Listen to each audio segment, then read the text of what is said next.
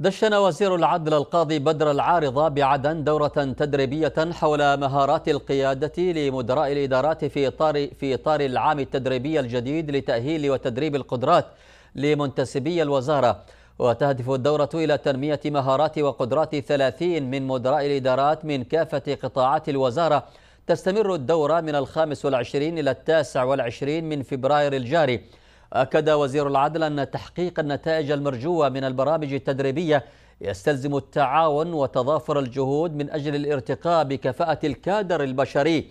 من جانبه أوضح وكيل وزارة العدل لقطاع الشؤون المالية والإدارية القاضي طارق العزاني أن الوزارة تهدف إلى تعزيز القدرات الفردية والعلمية لمنتسبيها لتحسين الأداء أداء العمل الوظيفي.